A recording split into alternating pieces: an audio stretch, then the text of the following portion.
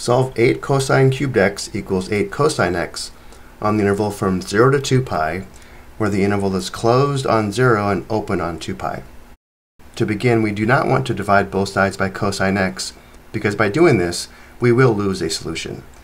For the first step, let's subtract 8 cosine x on both sides and set the right side equal to 0.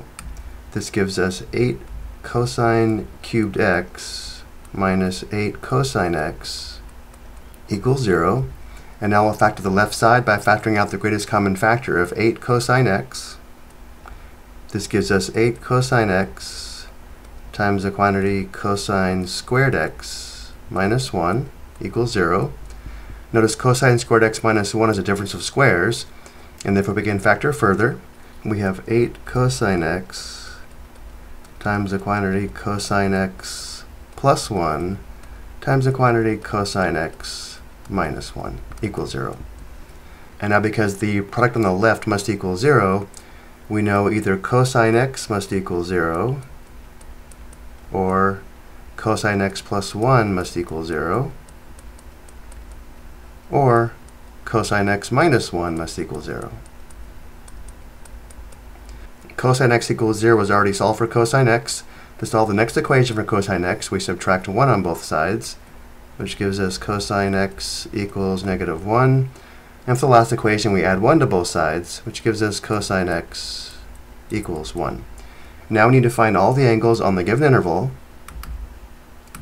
where cosine x equals 0, or cosine x equals negative 1, or cosine x equals positive 1. We'll take a look at a couple of ways of doing this. These cosine function values are key points on the graph of the cosine function shown below, and therefore we should recognize them. Cosine x equals 0 at x equals pi divided by 2 radians, as well as 3 pi divided by 2 radians, which gives us two solutions.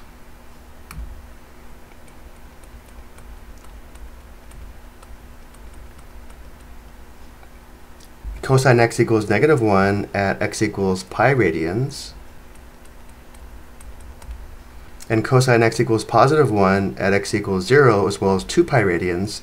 But going back to the interval, notice that 0 is in the interval, 2 pi is not, and therefore we only give the solution of x equals 0 radians.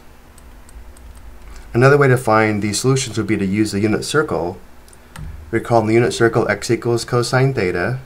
Notice the cosine function value is 0 at pi divided by 2 radians, as well as 3 pi divided by 2 radians. The cosine function value is negative 1 at pi radians, and the cosine function value is positive 1 at 0 radians, which are the same four solutions. Giving these solutions in order from least to greatest, we have x equals 0 radians, or x equals pi divided by 2 radians, or x equals pi radians, or x equals 3 pi divided by 2 radians.